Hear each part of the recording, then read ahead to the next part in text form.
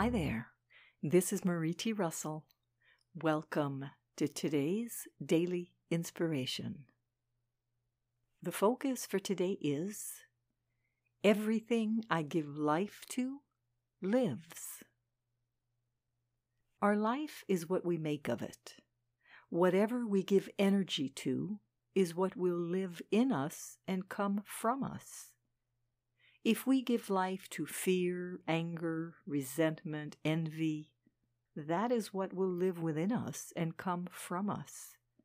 If instead we give life to love, generosity, authenticity, joy, exuberance, that is what will live within us and come from us.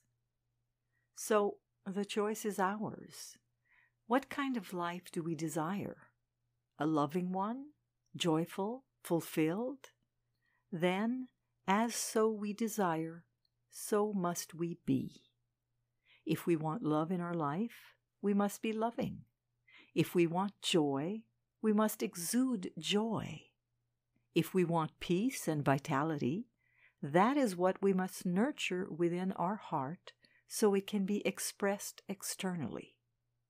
Our life is what we make of it. Today's daily inspiration was excerpted from the InnerSelf.com article, This Life is Ours, written by Marie T. Russell. This is Marie T. Russell, publisher of InnerSelf.com, wishing you a day of choosing your life, today and every day. Join me again tomorrow for the daily inspiration and focus of the day. Today, Everything we give life to lives. Wishing you a wonderful day.